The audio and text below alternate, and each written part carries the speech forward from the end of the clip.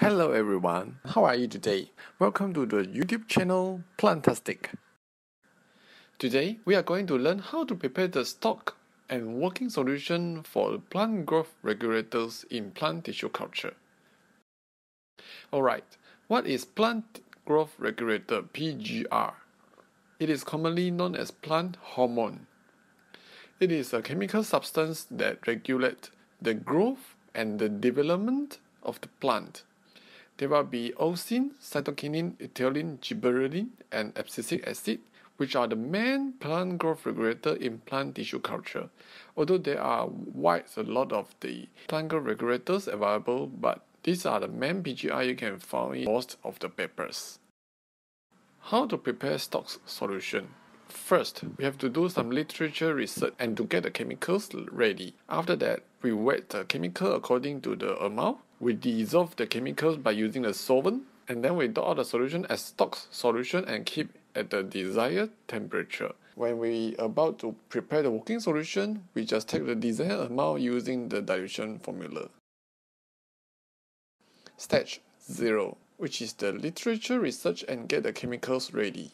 First, you have to refer to the journals and plan yourself that what are the PGR you're going to decide to use and what is the concentration you are going to use in the tissue culture. Before you start, I suggest you to check for the storage temperature for the chemical which is the plant regulator in powder form. For example, some of the chemicals can be stored in room temperature when it is powder form, whereas some have to be stored at negative 4, negative 20 degrees Celsius.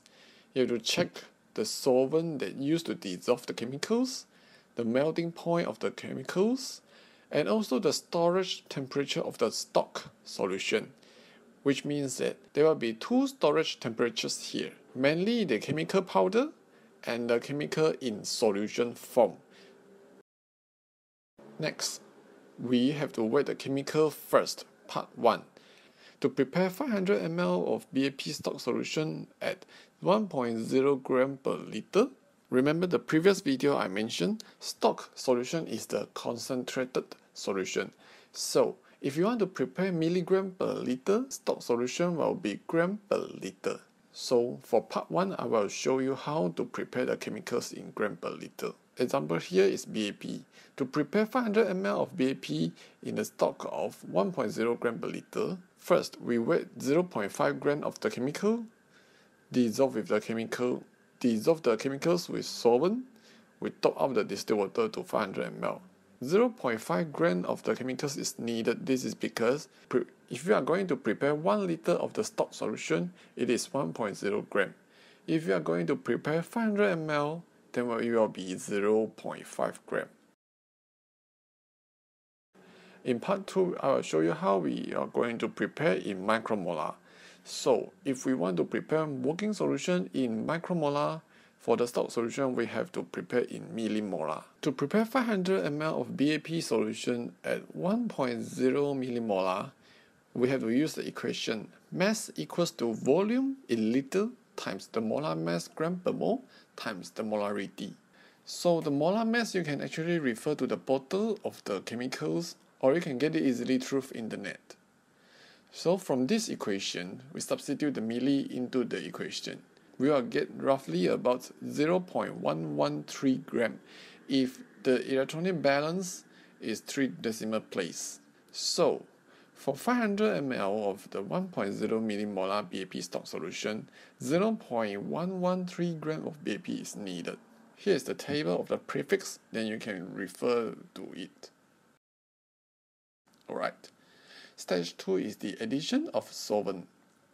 You have to check the type of solvent to be used. For example, BAP, you have to add 1 normality sodium hydroxide drop by drop, stir it until the powder is dissolved, add more sodium hydroxide if the powder is not dissolved, followed by you top out the solution to the desired volume, for example 500 ml, using distilled water.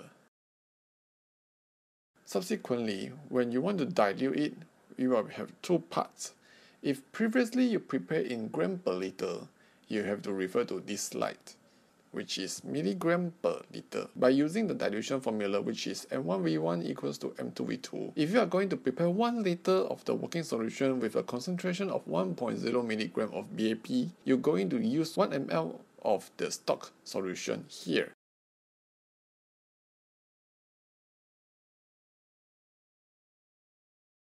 So in this slide, we'll show you how to dilute the stock solution from millimolar to micromolar. By using the formula again, M1V1 equals to M2V2, we can find that for 1 liter of the working solution at 1.0 micromolar, we need only 1 ml of the stock solution.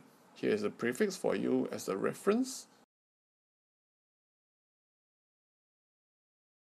Here are some extra notes on the stock and working solution preparation of the PGR. For example, here cytokinin, which is the TDZ, there is a solvent such as dimethyl sulfate oxide, DMSO. Instead of using that, you can use 1.0 normality of the NaOH or KOH, which is sodium hydroxide or potassium hydroxide as an alternative because DMSO is toxic to the plant. You have to check that whether it is a synthetic PGR or organic PGR because synthetic PGR is often heat tolerant but organic PGR is not, for example zeatin. So in this case, we often add the zeatin stock solution after sterilization process using autoclave, which is known as the filter sterilization. This filter sterilization must perform in aseptic condition, which means that all these steps you have to perform it in laminar flow hood in aseptic condition.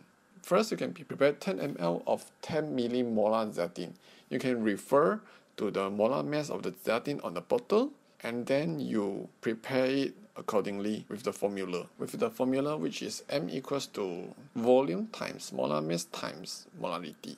Then you suck the solution by using the sterile syringe. After that you install the sterile ultrafilter onto the syringe. Then you pump out the solution into the sterilized container such as glass jar with lid or Eppendorf tube and keep it at the desired storage temperature. Whatever solution pass through the ultrafilter, it will become sterilized because the micropore is very small for the bacteria and fungus. So whatever solution pass through it, we consider it as a sterilized solution. For this stock solution, you just keep it in fridge with a closed lid until you want to prepare the working solution.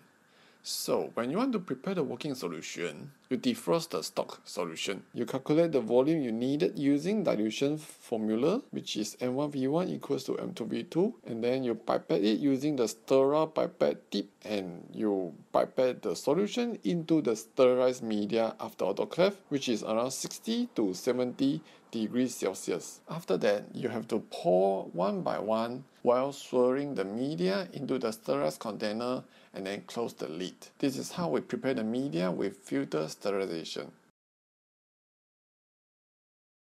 Alright, before we end our video, there is a bonus slide of this video, which is the conversion from milligram per liter to micromolar and vice versa. So how do we convert gram per liter to molarity? From gram per liter, we divide by the molar mass of the component. If it gives you the molarity, if it gives you the molarity. From the molarity, we multiply it with the molar mass, you will get a gram per liter. Note that molarity is mole per liter. Okay, let's take an example here using BAP. We convert it from milligram per liter to micromolar.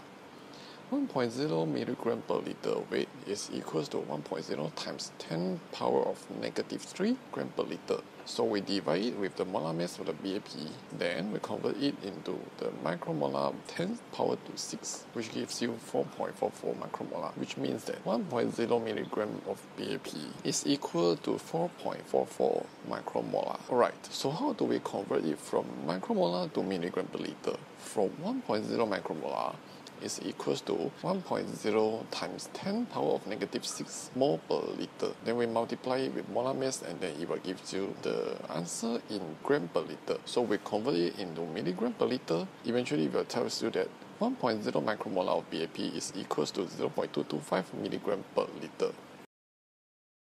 Don't forget to subscribe, share and hit up the notification button for subsequent videos on plant science.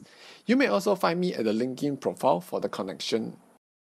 This is not a sponsored video and I would like to share with every one of you the reference I used in this video. Thank you for watching and have a nice day.